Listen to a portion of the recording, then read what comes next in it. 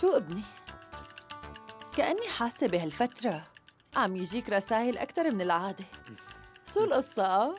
قلي ابني الصغير كبر عم يجي رسائل عشق.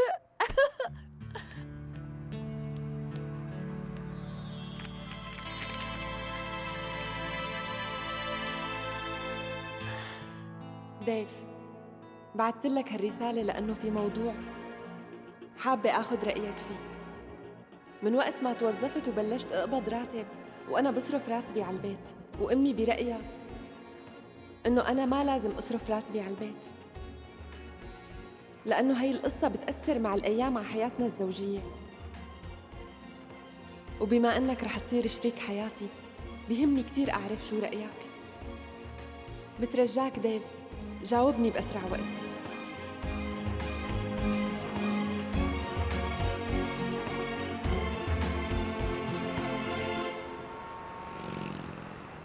راجت حكيت مع محل الحلو؟ إيه بابا اعطيته دفع على الحساب ورح يجيبهم الصبح بكير. ماشي. ماما؟ ماما وينك؟ ماما؟ أكيد بتكون جوا. شو القصة؟ بابا ما في شي. خلي ماما تيجي وبعدين رح أقول لك. ماما؟ شو ماما؟ في؟ ماما تعالي بسرعة بدي أقول لك أخبار منيحة. شو؟ بالأول. إيه شو بكي؟ ماما أنا كتبت رسالة لديف وأخذت رأيه بموضوع المصروف. شو؟ إيه ماما؟ وديف قال لي إنه هو كتير مبسوط وقال لي كمان إنه ما في فرق ابدا بين عيلتكم وعيلتنا. وقال بعد الزواج فيني ضل شارككم براتبي. ليش حكيتي مع ديف عن هالموضوع؟ مع إني نبهتك من قبل ما تجيبي سيرة لديف. انت رحتي وخبرتيه كل شي. انت ما بتفكري بالكلام يلي عم بتقوليه ولا شو؟ يا ترى هلا شو بيكون عم بيحكي علينا؟ بكفي إنه الناس بيضلوا يقولوا إنه نحن ما عم نجوز بنتنا لأنه طمعانين براتبها، نزعتيه على الأخير. وهلا أكيد بيكون وصل الخبر لبيت حماكي. ورح يفكروا إنه حتى بعد الزواج رح نضل طمعانين براتبك اللي عم تقبضيه. أمي شو بدك بهالحكي؟ المهم إني اكون مرتاحة. وصورتي بنظر عيلتي منيحة. بس الأهم من هيك كيف بيفكر ديف وعيلته؟ أمي أنتي علمتيني من أنا وصغيرة. إني أثق بحالي كتير وما رد على كلام الناس شو ما حكوا. أمي ما في فرق بين بنت وشاب. القصة مين بيقدر يساعد وأنا عم بقدر.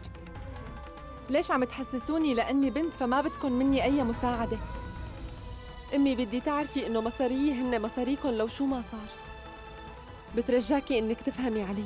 يعني أنا هلأ ما عاد إلي حق شارك بهالبيت؟ وليش هيك عم تطلبوا مني هلأ؟ لشو أمي؟ لأني بنت مزبوط؟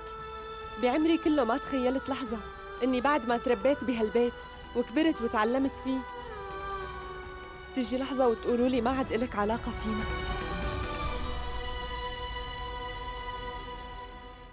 أمي ارتباطي الجديد ما بيعني أبداً إني قاطع أهلي. أمي العلاقة اللي بتربطني فيكم مو علاقة أشخاص عاديين أبداً. مو عاديين أبداً. لهيك يا ريت تراجعي نفسك أمي. العلاقة العائلية ما في أقوى منها بالكون. أنا ما فيني بعد عنكم لو شو ما صار. أنتي نسيانة إنه انتو ذكرياتي وحياتي وكل شي. بدك بلحظة وحدة إنساكن كلكن. وليش؟ لأنه بدي أسس عيلة. ما هيك؟ أمي. بدك زواجي يفرق بيننا؟ قوليلي شو بدك؟ أنا ما بتحمل إبعد عنك أو عن عيلتي بس الظاهر ما عندك مشكلة تبعديني عنك وتنسيني كمان معقول هيك؟ ما بدك يعني ساعدكن لأنك بتعتبريني غريبة شو؟ لا يا بنتي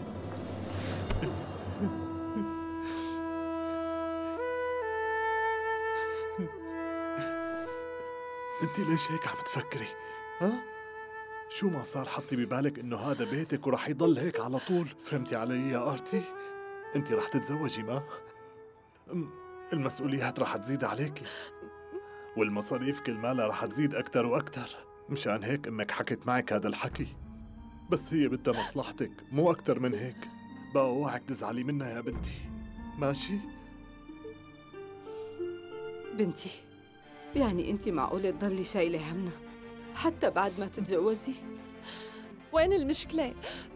إذا كنت بقدر أتحمل مسؤولية أهلي وعائلتي الجديدة كمان. بعدين أنا ما بقدر أنسى اللي عشنا. كلنا منعرف كمان المشاكل اللي مر فيها أبي لحتى يعلمنا. أنا بفضله قدرت أتحمل مسؤولية وأتوظف وأكسب. أنا لولا تعب أبي معي وسهره على راحتي. ما كنت قدرت حقق شي. واليوم انتو ما عم تقبلوا مني المساعدة.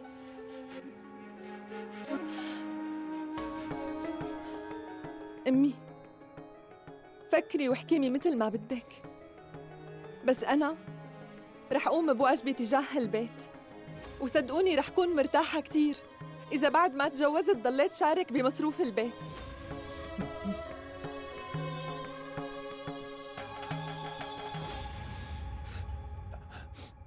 هلا انسي هذا الحديث. بكرة خطبتك. نحن رح نبلش بتحضيرات الخطبة. وبعدين بنحكي. ماشي؟ فهمتي؟ بدي اياك تنبسطي. إيه؟ حكيك مزبوط بابا. هلا خلينا بالخطبة. لسه في وقت كتير للزواج. ولسه بكير لحتى نطلع هالمشاعر. أوه بفهم إنه هذا كان تدريب. مزبوط آرتي؟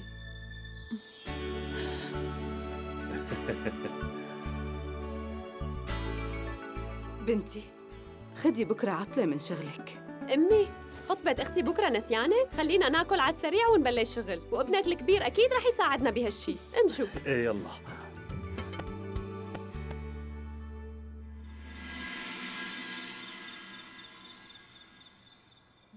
آرتي كتير مبسوط وفخور فيكي لأنك بتفكري بأهلك وبتهتمي براحتهم. أنت عن جد بنت فهمانة. وعقلك كتير كبير. بعد ما عرفت كيف بتفكري صرتي عم تعجبيني أكتر وأكتر. بعدين ليش لحتى يكون عندي مشكلة باللي عم بتقوليه؟ آرتي عيلتنا وعيلتكم رح يصيروا واحد وأهلك رح يصيروا أهلي أنت عن جد كتير لطيفة وذكية يا آرتي. بتحبي عيلتك كتير وبتهتمي فيهم. ونحن من زمان كان بدنا بنت تخلي العيلة مترابطة هيك. وأنا كتير متأكد إنك أنت رح تعاملي أهلي مثل ما بتعاملي أهلك بالضبط. آرتي وعديني إنك تضلي هيك.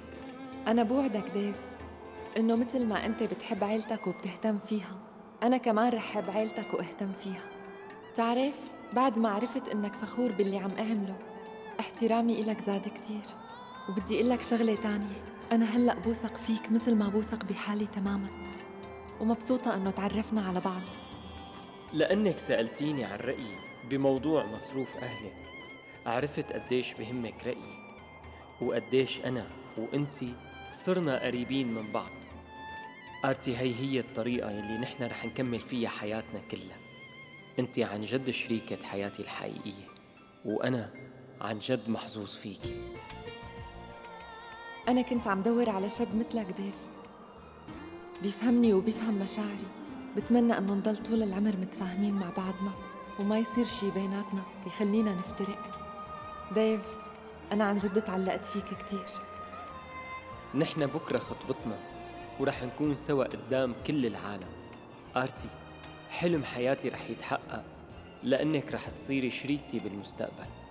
آرتي أنا كتير بحبك. شو هالوردات الحلوين؟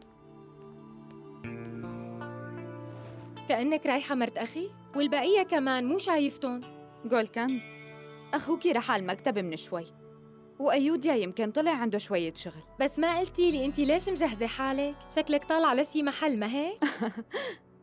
جولكاند مثل ما بتعرفي اليوم هو يوم مهم وبهذا اليوم من كل سنة منروح ومنجتمع شكلك نسيانة لا أبدا لا. مالي نسيانة بس كنت عم شوف إذا لساتك محافظة على هالعادات ولا لا.